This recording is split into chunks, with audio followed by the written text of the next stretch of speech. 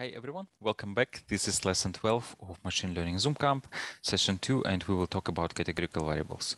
So categorical variables are variables that are categories. So these are typically strings, so these are not numbers. So things like make, model, engine fuel type, uh, transmission type, driven wheels, they are categorical variables. So typically they are strings, and uh, we have quite a few of them. Uh, here, if we look at dtypes, we have make, model, and so on. So all these uh, things that have type objects, object, they are uh, categorical variables. But there is one variable that is uh, that looks like it's numerical, number of doors, but it's actually not uh, not a numerical variable. It's a categorical variable uh, because there are distinct types of cars. So there are cars that have two doors, cars that have three uh, doors, and cars that have four doors, right? So these cars are quite different. So it's uh, it's not really a numerical number, a numerical variable. Even though it looks numerical, it just happened that the values of this variable are numbers. And that's why pandas uh, treats uh, them as usual numbers, right? And uh, we want to use variables like that for our models uh, for our model um, because they could be important. So for example, um, for uh, cars with two doors, they are probably more expensive than uh, let's say car with four doors. And uh, the typical way of encoding such categorical variables is we represent, uh, let's say we have, uh, here we have our column with different values. So it can be like number of doors, right? It can be, say two, three, four, again two. And the way we usually encode it is we represent it uh, with a bunch of binary columns. So for each value, so let's say this is uh, number of doors two, number of doors three, and number of doors four. For each value, we have a different column, and then uh, we put one, like for this row, because the number of uh, rows is two, then we uh, the number of doors is two. That's why we put uh, one in this in this column and put zeros everywhere. Then for this one, uh, one goes here, and these ones get zero. And then for four, again, one goes here to the column number of doors four. And then here again, we have two. Um, that's why we have one in the first column. So we represent uh, um, one uh, categorical column with uh, multiple binary columns, multiple binary variables. And the way we can do this in pandas is using this equals equals separator. So let's say when we say that number of doors two uh, equals to two, then basically it shows that uh, for the first car, it's true. So the, the, the, the, number of doors is actually, you can see that it's two. And then this, this is also two, two yeah, we can see it's true. Um, so one thing we need to do now is just turn to it into integer. So we have here ones and zeros. And for that, we can just use this astype uh, function that turns a Boolean into integer. Right? And then we can do this for all of them, right? For two, three, and four. And uh, yeah, so what we need to do now is just write it back to data frame uh, and then um, the way we do this, we can just, uh, let's say, have a number of doors equals four, and then have a have a variable like that. And then it will create a new uh, a new variable here, a new column in the data frame that uh, that is one for all the cars that have four doors. And then uh, yeah, we can uh, do this for free uh, for two doors and for three doors, right? So here it would be two, would be three.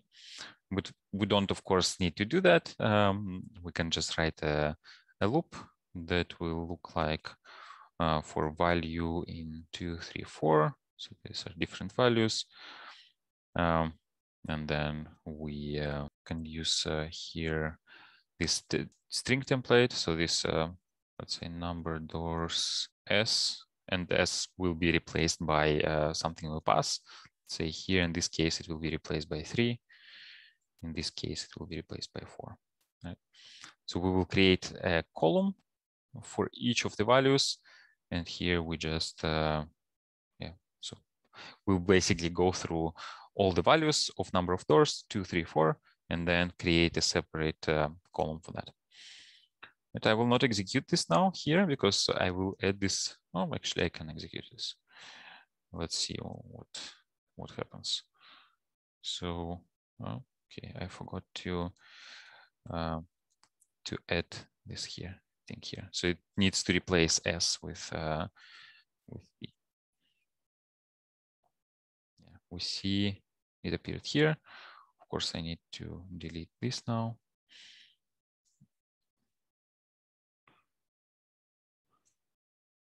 Yeah, and uh, I'll also delete this uh, three and four. So now they should be gone. This is how we can represent categorical variables and also put them in our uh, feature uh, matrices. So let's modify our prepare X function.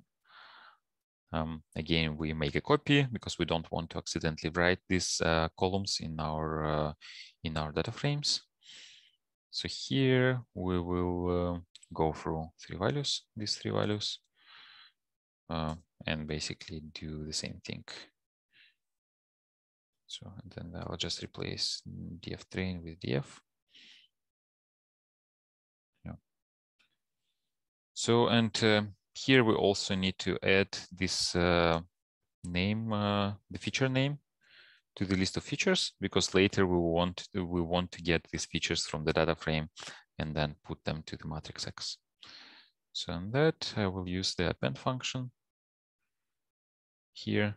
So here I don't use append because uh, I want to create a new uh, a new list. So I don't want to change the base list every time because otherwise, if I uh, let's say use append here, um,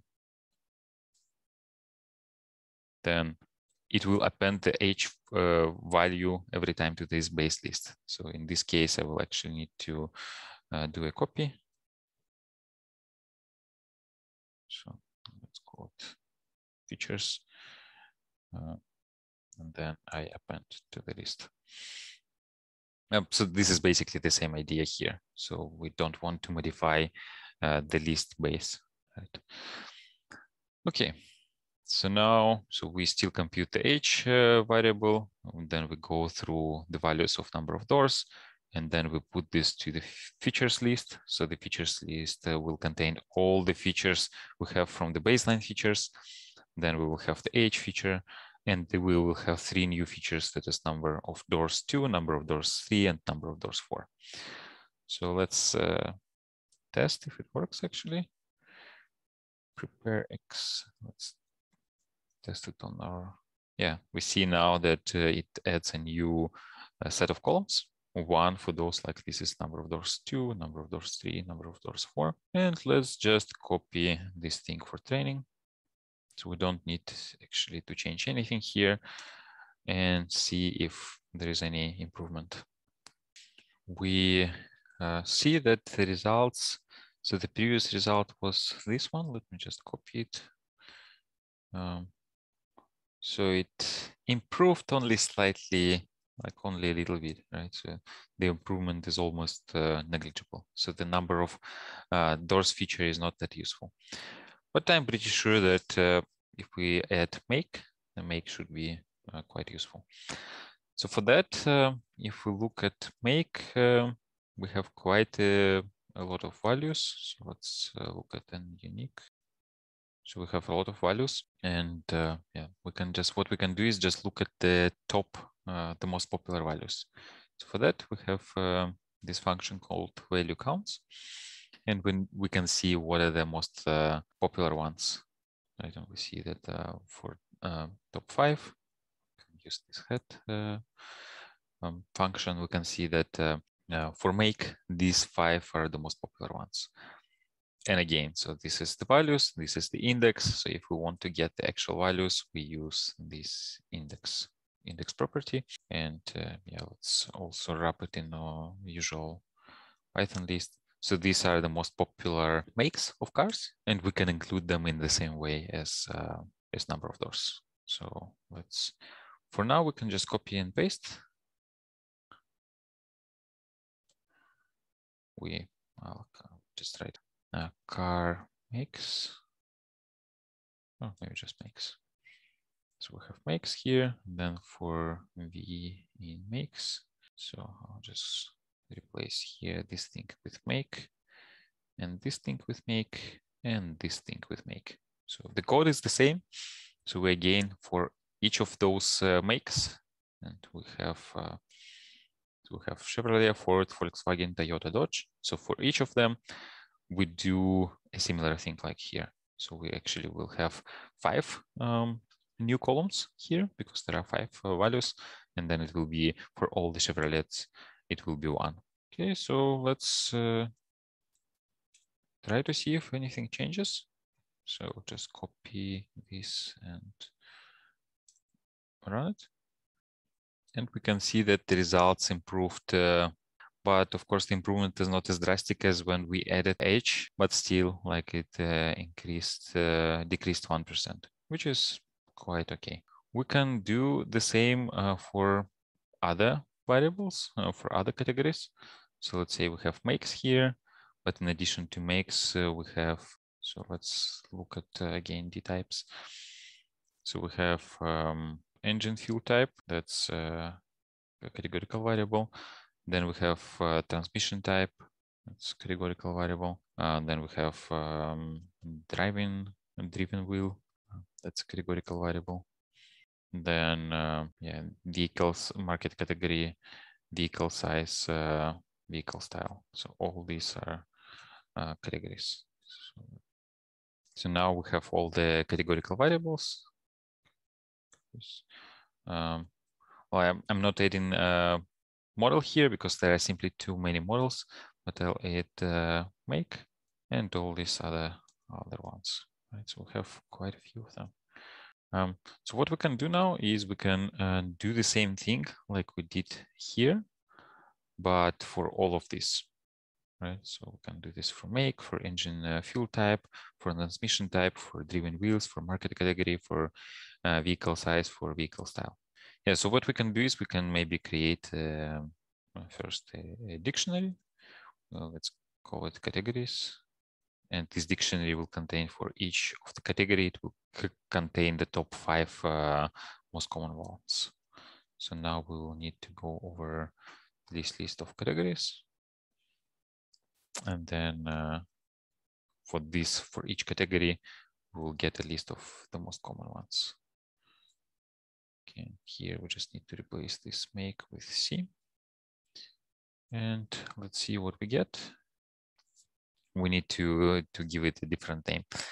Um, can call it categorical variables.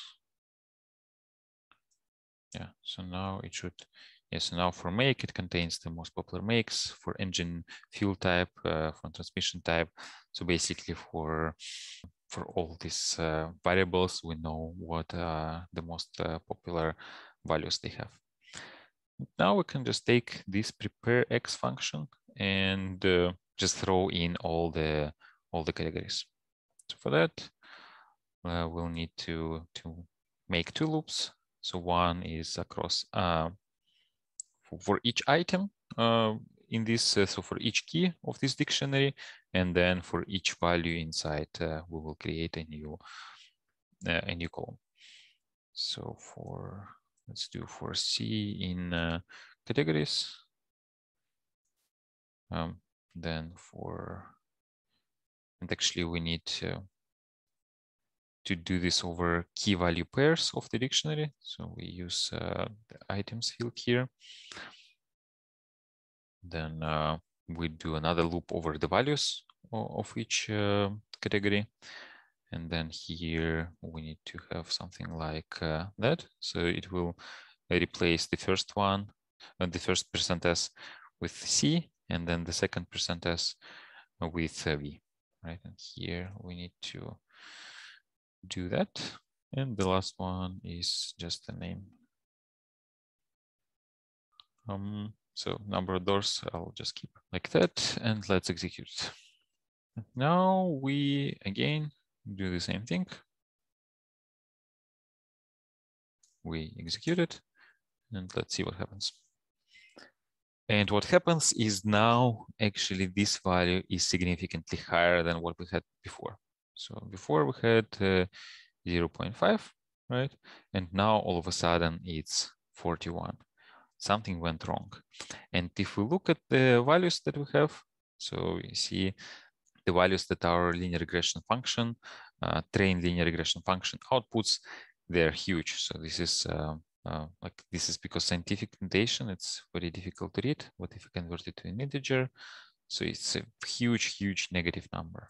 Right? And the, these weights, uh, we see that some of them are also very large. So for example, this uh, this row here. So this is uh, so this is a huge, huge, huge value. So something went wrong we wanted to improve our model by adding more variables, but we just made it worse. And in the next lesson, we will see why that happened and how to fix it.